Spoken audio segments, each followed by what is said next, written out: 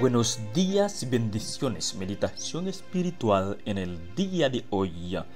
Vamos a leer en 2 Crónica, capítulo 24, versículo 5.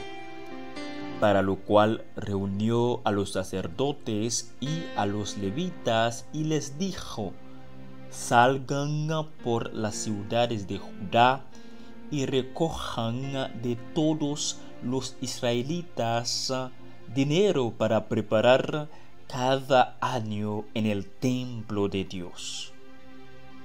Título de la meditación. Pero los levitas no tenían prisa. Joás se había tomado a pecho reparar la casa del Señor y había mandado a los que bajo la ley eran los únicos que podían hacerlo, los sacerdotes y los levitas que se pusieran a este negocio. Pero los levitas no se apresuraron. Así la obra de Dios fue retrasada, sino detenida por los responsables de ellos. Es esta misma advertencia dirigida a nosotros hoy. Durante mucho tiempo se nos ha ordenado reparar la casa del Señor.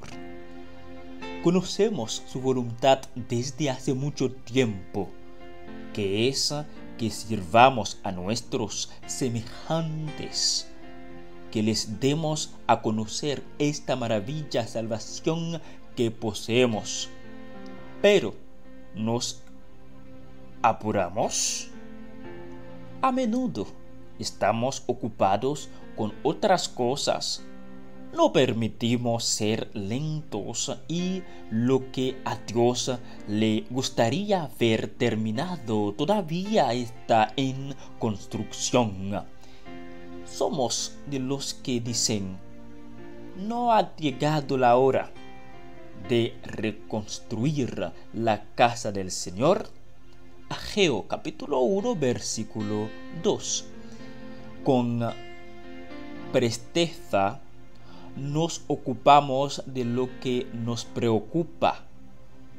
Nuestros propios intereses están primero y los de Dios los de las almas de los hombres deben esperar. Los levitas no se apresuraron. ¿Cuánto tiempo hemos perdido? ¿Cuántas oportunidades de servicio hemos perdido? Porque nuestro pensamiento y nuestro corazón estaban en otra parte el mundo se precipita hacia el abismo. Los acontecimientos se desarrollan a la velocidad del rayo. Pero los levitas no tienen prisa. Santiago dice que el que sabe hacer el bien y no lo hace, peca es una palabra que debe despertarnos del letargo y de la irrealidad. Una palabra que marchita sin contemplaciones nuestra seca y fría ortodoxia, sin vida ni fuerza divina.